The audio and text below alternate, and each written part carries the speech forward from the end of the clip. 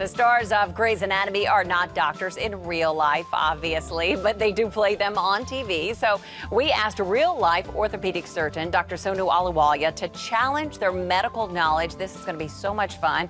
Welcome, Dr. Sonu. Thanks, Nancy. So are you a big fan of I Grey's am, Anatomy? I, am. I really am. And, you know, I really enjoy what they do on the show. They do good. So it was definitely a thrill for me to visit the set of the fictional Seattle Grace Hospital. And beginning with Dr. Grey herself, I wanted to quiz them on the doctor lingo they deliver so well. So you said the labs show that she has a teratoma. Yes, Janelle's labs show she has a teratoma. Do you know what a teratoma is? I do know what a teratoma Oh, okay. is. Yeah. a teratoma is a tumor or a mass with hair and bone Yeah. teeth. Very good. Yeah, wow. undifferentiated tumor. She's really smart. got a pseudoaneurysm in the splenic artery. What is a pseudoaneurysm of the splenic artery? Uh, an aneurysm in the splenic artery. Did What not is- explain that very well. Dr. Ahluwalia was welcomed with open arms. He hosts his own new talk show, All Is Well, and his fans call him the Dr. Oz of India. So you said I need a purse string in this aorta. Did I say that? I need a purse string in the aorta. It's kind of in the, the throat area, right? Isn't Close it? enough. It's in the chest. It's in the chest. Yeah, okay. yeah, yeah. The bronchus, judging by the ossification, probably a carcinoid tumor. There's obviously some cancerous material growth going on in there, and we want to try and see. Good, good we can thinking break there. I've got a post-op ortho patient on, On DVT prophylaxis with a subdural hematoma, Derek, she's got a blown pupil. Okay, subdural hematoma is a bleed in the brain. Yes.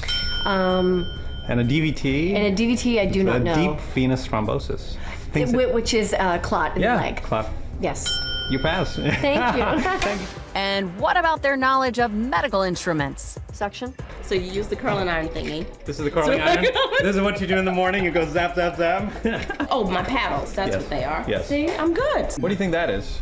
That is the aura. That is really? the So that's the main um, thing that feeds the heart. Is It that actually comes out of the heart. This looks like some kind of retractor. Yes, you're, you're a good general surgeon. All right, good. As for season nine's set secrets, last season ended with a horrifying plane crash. Derek!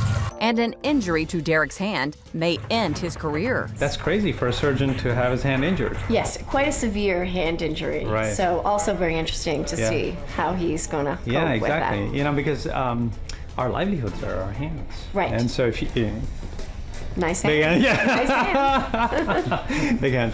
Um, now, you. I didn't say big. You said big. I said nice. Oh, Ellen paying you a compliment. Let me see. Okay, she's right. You do have nice hands. I guess the surgeon's gotta. Well, I think I need a manicure stat.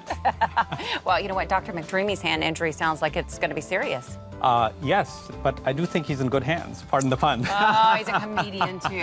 but I do think that their storylines ring very true.